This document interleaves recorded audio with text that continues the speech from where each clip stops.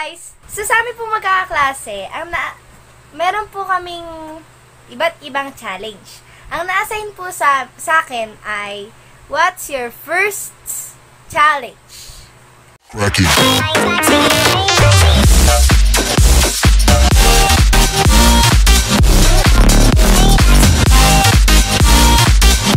So by the way, like and subscribe to this channel and comment and click the bell icon para maging updated kayo sa mga videos. So, simulan na po natin! Unang tanong. Who is your first best friend? Hmm, so, ang una ko pong naging best friend ay si yung pinsan ko po si Janaya Vishnuwa po. Shout out sa kanya. Simula months pa lang po siya, dinadalaw-dalaw ko na. Mga apat na taon na ata, ata ako nun, or two. Or two years old. Naalala ko pa po eh. Magic! Ang sunod na tanong. What is the first song that you like? Nung bata ako, kinakanta ko ay Someone Like You. Oh, yun ang first favorite ko. Someone Like You.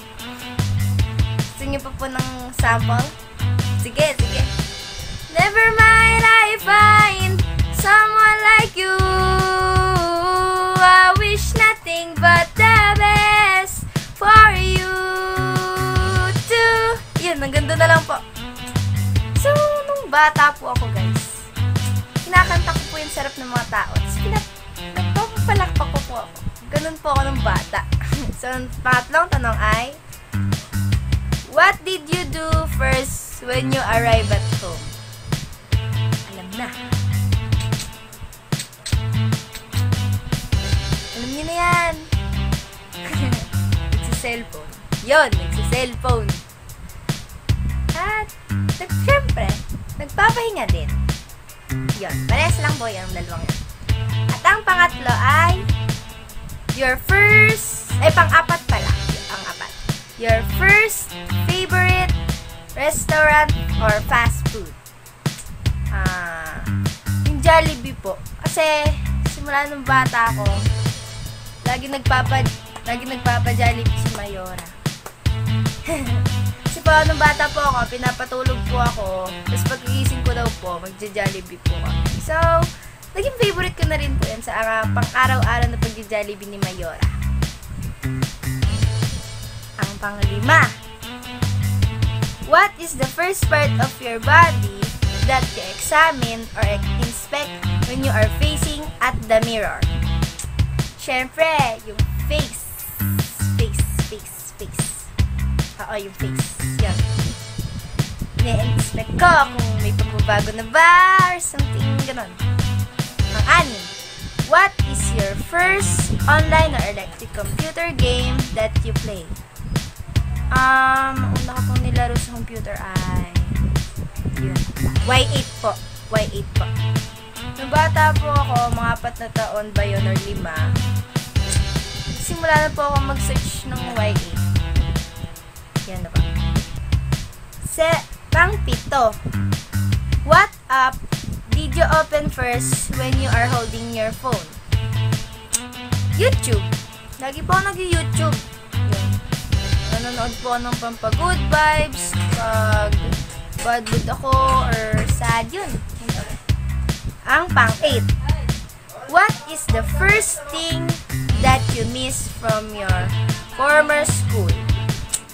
Um, yung pong project po namin na magdala ng sewing kit nung kinder. Yun pa. Yun. Alimutan ko yun. Nung nakalimutan ko nga po yun, iyak nga po ako eh. so, ang pang 9. 9. 9. 9. Ang ikasyang. First letter in the alphabet that comes into your mind right now. Hmm, ang pumasok po sa isip ko ay letter C. Sabi ng isip ko po, letter C. Eh, di letter C. Yun na po, letter C. Conde. Ang pang-sampu. 10. Who is the first person or classmate that you get close in grade 6 Rizal? Lagi naman, si Faye Angelica Tubig. Tapos, shout out na rin po sa kanya. Mhm. Yan na po. Ay, po si Faye, simula grade 3. Yun lang po.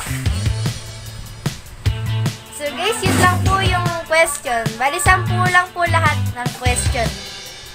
So, like, subscribe, comment on this video, and click the bell icon para lagi kayong updated. And, subscribe na rin po yung yung channel po, yung channel po namin, yung sarili ko pong channel. Ako po at mga kaibigan ko. Yung Rizalin's Vlog. R-I-S-S-A-L-Y-N apostrophe S Vlog. Yun lang po guys. Bye!